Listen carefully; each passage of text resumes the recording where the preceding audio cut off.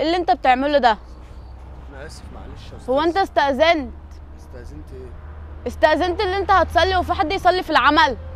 طب حضرتك أنا هستأذنك عشان أروح اقابل ربنا يعني ولا إيه؟ مش طب ماشي كنت تيجي تستأذن مني ومش هقول لك لأ عادي يعني. طيب ماشي ما أنا نزلت الطلبات للأستاذ وهو ما ينفعش. ولقيت الدنيا هادية و... والدنيا تتدمر جوه بقى والشغل يبوظ. ده حضرتك ده ده ما كملتش حوالي برضه تيجي دقايق. تستأذن طيب أنا ماشي ماشي أنا اسف. شيل يلا المصلية وتعالى لي المكتب. طب بالراحة طيب حضرتك. ماشي يلا بلا بالراحة.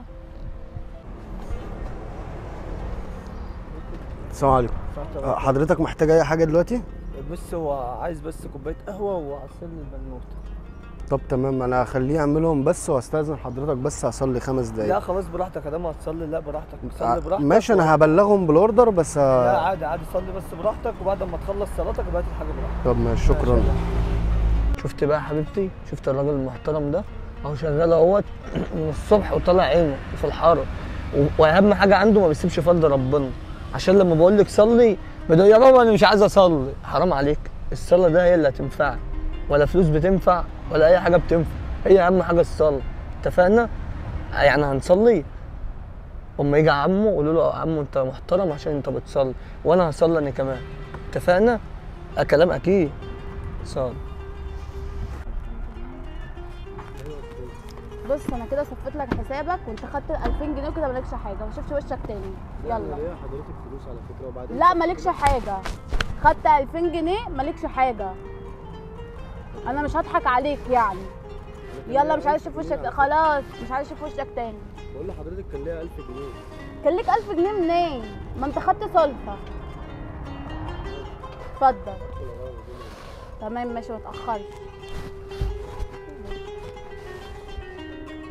يا أستاذ هي فين القهوة والعصير يا أستاذ؟ عشان عايزين نمشي يا أستاذ. والله العظيم حضرتك أنا مبلغ أنا بيهم ما جبتلوش القهوة واقف بتتكلم معاه ليه أصلا مش قلت لك امشي. حضرتك أنت مش صفتي لي حسابي؟ ماشي أنت واقف بتتكلم معاه طب أنت ليه بتزعلي ليه هو هو في يا استاذه بعد إذنك إيه اللي حصل؟ أنا بعد إذنك بس يا أستاذ أنا أنا بس عشان المشكلة اللي هي بتعملها تاني أنا خلاص صفت حسابي عشان بصلي قدام حضرتك مع إني مستأذن منك. والقهوة والمية والعصير لل- للأستاذة الصغيرة مبلغ بيهم الأستاذ أحمد جوه. بقول لك يا أحمد قهوة بس هناك وكوباية عصير وإزازة مية تمام؟ على ترابيزة 11 أنا أنا ما- ماليش ذنب أنا بلغت بيهم. يعني أنت حضرتك بتمشيه من هنا عشان بيصلي؟ بتتكلم ليه أصلا؟ أنت مالك؟ بعد إذنك بس ممكن تقربي بس بعد إذن- مالك؟ طب بعد إذنك بس بعد إذنك. طب اسمعي الكلمتين اللي أنا هقولهم. أنت حضرتك بتمشي العامل عشان بيصلي ركعتين لربنا. بص يا ست الكل هو الأستاذ ده جه استأذني وقال لي بعد إذنك أنا هصلي. فنصيحة مني بقى ليكي. يستأذنك أنت ولا يستأذن صاحبة المكان؟ حتى لو ما استأذنش. ده أنت من حقك تشجعيه على كده. لما يجي يأدي فرض ربنا حتى لو في زباين والدنيا زحمة من حقك تقولي له صلي وتشجعيه. مش تخليه تقول له أنت بتصلي وتمشيه عشان بيصلي. حرام عليكي. استنى يا أستاذ بعد إذنك. خدي بالك اللي أنت بتعمله ده غلط. هي فاكرة إن أنا مش هاكل عيش لا يعني. ده أنا أقول لك على حاجة بقى. اللي أنت عملتيه فيه دوت استنى عليا وشوف ربنا يعمل فيك إيه. أنت بتشتغل هنا بكام في الشهر؟ على 2000 ونص ومطلعة عيني عليهم كمان وخصمت مني 1000 جنيه كمان. 2000 ونص ومش بتخليه يصلي بص يا ابني أنا هاخدك تشتغل عندي. لا يا أستاذ أنا اسمع بس أنا مش عايزك تعمل أي حاجة هناك. أنا قاعدك في المكتب تمسك الحسابات. بس أهم حاجة اللي أنت كنت بتعمله نوت تعمله هناك آه طبعا حتى لو- تصلي هناك. وأي حد هناك هيكلمك أنا هخليك تمسك الشركة كلها. امسك حسابات إزاي؟ وقع لك الدنيا خالص. بره عنك بقى مالكيش دعوة. طب أنت مالك؟ أنت عارفة ليه؟ أنا أنا هتبارك بيه في مكاني عشان بركة ربنا اللي هو هيسجد له هيسجد له في مكاني. أنت كان من حقك تعملي كده. من حقك لما تلاقيه ما بيصليش تقول له انت رحت صليت ليه؟ أدام عارفة إن هو بيصلي. لكن حسب الله ونعم الوكيل فيك.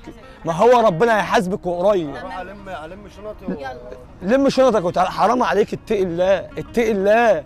ده ربنا سبحانه وتعالى. ده بيركع. ده بيركع. لربنا. ما هو أنا مش هحاسبك بس أنا عبد من عباد ربنا. لازم أوجهك في الحاجة الصح. الدنيا لهياكي. روحي. روحي حسب الله ونعم الوكيل فيكي. روحي حرام عليكي. روحي. بقول لك إيه هو انت عادل كان طالب منك قهوة؟ آه ده كان طالب مني قهوة بس والله يا ست هانم كنت بس معاه مكالمه مهمة. إزاي؟ يعني هو بيصلي وبيعمل بواجبه ومشغل المكان حلو انت قاعد تحب في التليفون ومش بتصلي وبوظت الدنيا خالص وخليتني قطعت لقمه عيشه والله نسيت. أنا نسيت. إزاي نسيت يعني؟ طب أنا هعمل لك اللي أنت عاوزاه. طب أنا آسف. آسف إيه؟ آسف هترجع كل حاجة. ما خلاص اللي حصل حصل. أنت مرفوض من شغلك. خلاص. إيه؟ ضرايب إيه طيب؟ حضرتك أنت بتقول إيه ضرايب إيه اللي عليا؟ إزاي طيب؟ طب ممكن تديلي مهلة يوم حتى أعرف أجمع لك الفلوس لأن الدنيا متدمرة والله العظيم والشغل مش شغال. معلش طيب. ألو؟ ألو؟ ضرايب إيه دي طيب؟ الذنب اللي أنا عملته. طب أنا هصلحه إزاي دلوقتي؟ ربنا بينتقم مني. أنا لازم أروح لعادل واسف له حتى. يمكن ربنا يكفر عن ذنب شوية.